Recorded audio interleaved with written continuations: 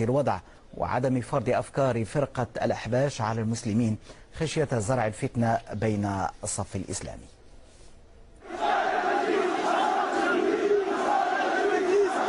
تتصاعد حملة المسلمين الاحتجاجية في إثيوبيا يوما بعد يوم على ما يقولون إنه تدخل الحكومة الإثيوبية في شؤون المعتقدات الدينية.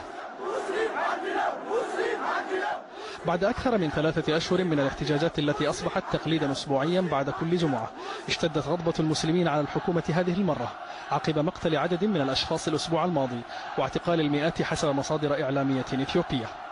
وقد ازداد التوتر أكثر بعد أن أعلنت القناة الرسمية أن من قتلوا في مدينة أساسة بولاية عروس الإثيوبية ينتمون إلى جماعات متطرفة. الأمر الذي رفضته هيئة إسلامية محلية وطالبت بمحاكمة القتلة.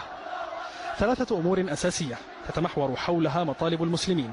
هي رفض تدخل الحكومة في الأديان وإعطائهم حق اختيار أعضاء المجلس الأعلى للشؤون الإسلامية ورفض من يسمونهم دعاة الفتنة بين المسلمين المدعومين من قبل الحكومة حسب هيئات إسلامية.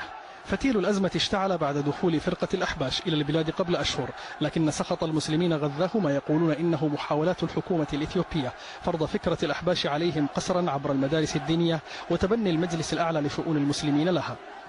حراك المسلمين في إثيوبيا لقي تعاطفا من قبل الهيئات الإسلامية وعلى رأسها هيئة علماء المسلمين. وقد حذر علماء دين مسلمون ومسيحيون من تصاعد هذا الحراك إلى وضع لا يمكن السيطرة عليه. تحذيرات الحكومة الإثيوبية بعدم قانونية الاحتجاجات لم تمنع مئات الآلاف من المسلمين في شتى الولايات الإثيوبية من مواصلة مسارهم الاحتجاجي والمطالبة بوقف التدخل الحكومي في شؤون الأديان.